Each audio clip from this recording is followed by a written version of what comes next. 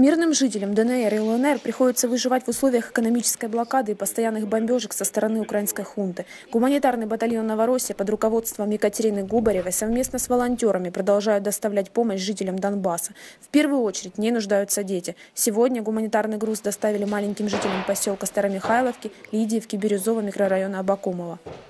Сегодня для жителей поселков Бирюзова, Лидиевка, Абакумова, Старомихайловка по адресу Дагестанская, 52 проходит выдача гуманитарной помощи для детей до годика.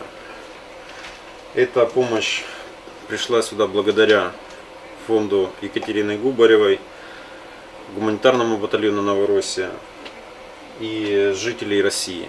Поселки Абакумова, Лидиевка, Бирюзова находятся фактически на передовой.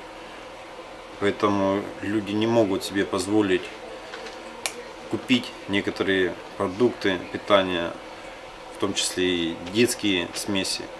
Выражаем огромную благодарность гуманитарному батальону Новороссия, который в это неспокойное время продолжает оказывать помощь простым мирным жителям. Также в помощь в виде детских смесей от неравнодушных жителей России торговой марки «Бабушкина Лукошка» была передана в Центральную городскую больницу номер 24 города Донецка и в отделение патологии больницы номер 6.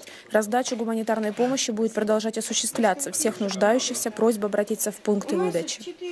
Просим жителей, которые находятся недалеко от этой больницы, приходите получать это детское питание.